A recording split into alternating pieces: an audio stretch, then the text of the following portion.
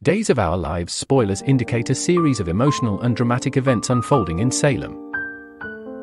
Melina Evans brought a touch of celebration to the body and soul hospital set, offering Johnny DiMera a birthday cupcake from Sweet Bits. Despite the gesture, Johnny struggled with thoughts of Chanel DiMera's supposed betrayal, discussing with Melina the possibility of a curse by Hattie Adams affecting his life.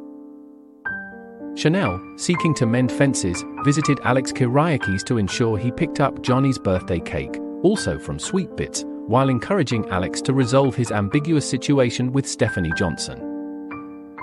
Meanwhile, Leo Stark stirred the pot by informing Stephanie and Paulina Price about Alex's rumored on-set indiscretion with a co-star, intensifying the scandal.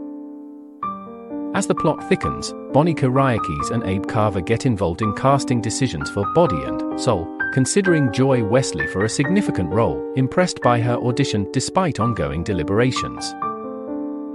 In another twist, Alex faced interrogation from Nancy Miller about his recent companions, coinciding with Stephanie's awkward encounter with Seth Burns, who mistakenly thought she was involved in the production. The tension escalated when Johnny confronted Chanel and Alex together, accusing Chanel of infidelity based on his observations.